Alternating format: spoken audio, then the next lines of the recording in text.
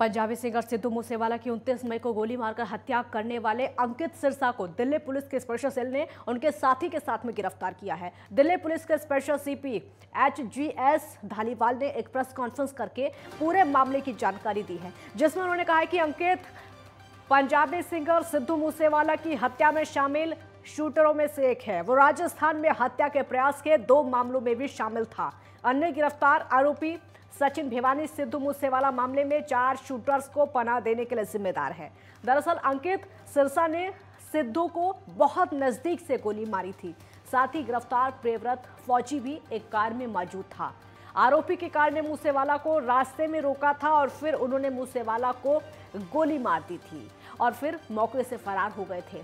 प्रेव्रत फौजी ग्रो के बोलेरो मोडियल का मुखिया था।